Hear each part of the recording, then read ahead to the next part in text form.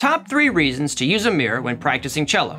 Number one, it allows you to see your bow path more accurately and helps you learn to bow straight. Number two, it allows you to accurately see your left hand and helps you learn the proper left hand position. Number three, it keeps you looking forward, keeping your body in the proper playing position and posture. Notice in the first two I said see accurately or accurately see. When we turn or crane our neck to look, we don't actually see what's going on and we totally mess up our good playing posture. Using the mirror to see our left hand and bow path prevents that. Thanks, and I will see you in the next one.